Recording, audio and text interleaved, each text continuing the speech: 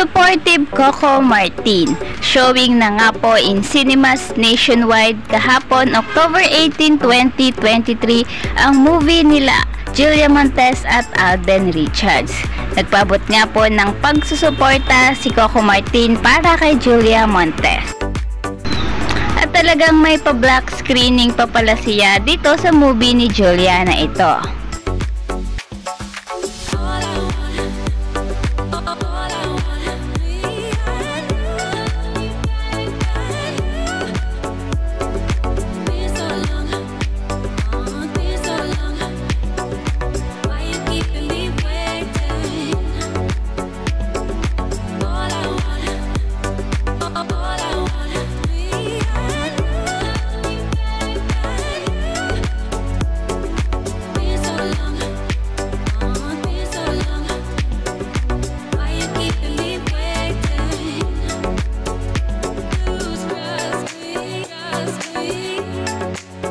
Sana mangyari din po sa inyo at ma-enjoy nyo to.